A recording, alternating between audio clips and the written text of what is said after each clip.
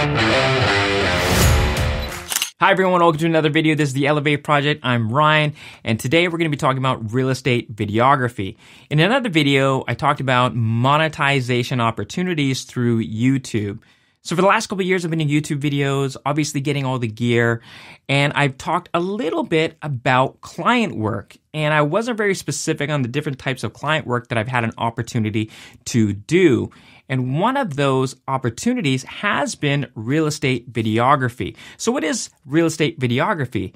So for a, if you're trying to sell your house or you're trying to buy a house, usually go through Zillow or MLS and you typically are searching for different types of homes. And the one of the most specific things or certain expectations, one is photos. You want to have a good feel and look of what each of the rooms look like, what the exterior home looks like.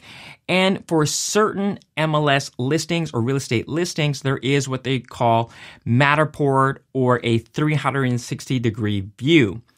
Now, depending on where you live, real estate videos is not always an option where you can actually see and feel video or the home through video.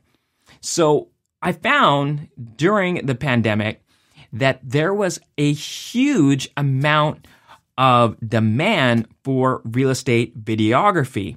Now, my take on real estate videography is a trailer and not necessarily a full virtual walkthrough. One of the reasons why is because there are a lot of listings when you're searching for a home, buying or selling.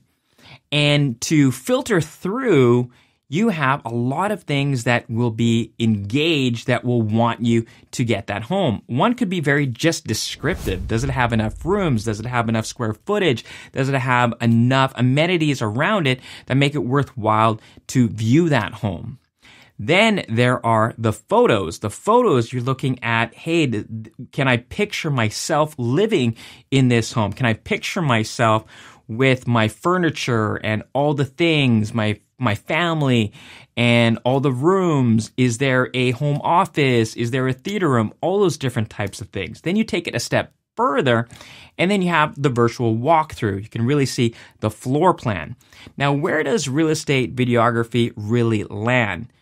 Well, because of YouTube and because of the pandemic, video is really becoming a demand for a lot of different things social media and YouTube. And when it comes to real estate, it elevates the emotion that you can have towards a home. So when you have 10 different homes and you really want to filter it down to two or three homes that you would actually willing to step into and see the home live, video can help elevate that experience and really make the decision if that's one of the homes that you would want to view. I find that having a video is more like a trailer, just like a movie that you're going to be watching in the theater. In the trailer, you're not watching the whole movie. You're watching the features, the really things that stand out. And that is where I come in. I really love the opportunity to the creative side of videography, also my passion for real estate, and in and in turn, for my clients, realtors, buyers, and sellers, it helps enhance their emotion to the actual listing.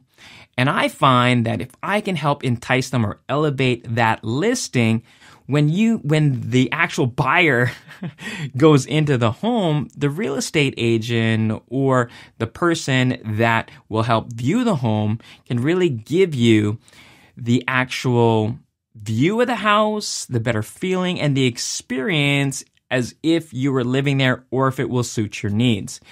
And of course, photos can be deceiving where videos just creates the enhances the emotion. And then you'll of course you have the 360 view. So that is one of the pieces of client work that I'm doing. And I've done a few different things like events, sports events. My daughter does Highland dance, doing things for her studio.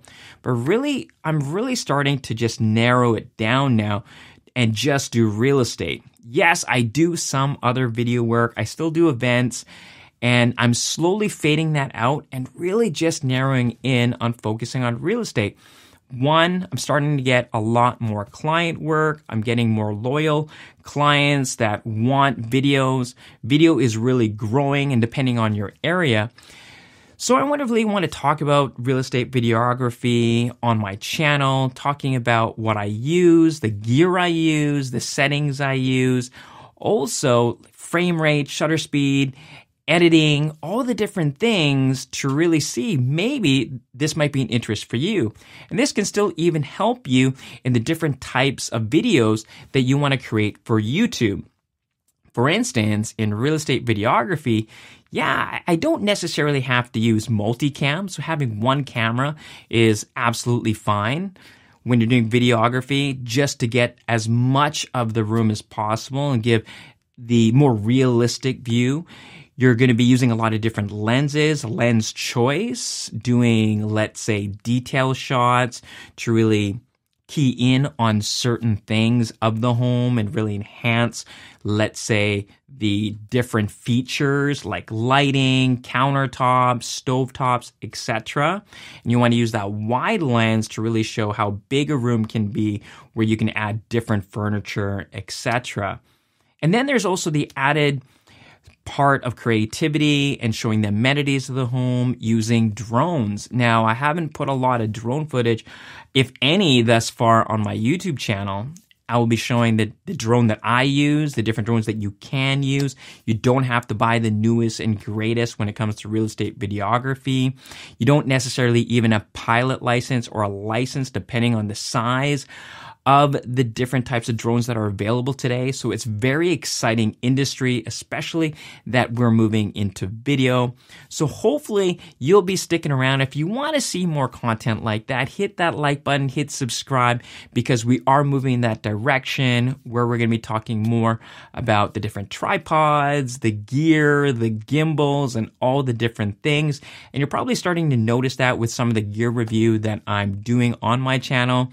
And I'll probably also show some differences in the different gear that I use for different events, just to show some client work where you can create some income when maybe you're not even monetized yet, and that could be another stream of income if you are monetized. So if you found some value in this video, you know what to do. And if you like content like this one, especially moving forward, watch video over here and watch another video over here. Be safe, stay awesome, and I'll catch you in the next one.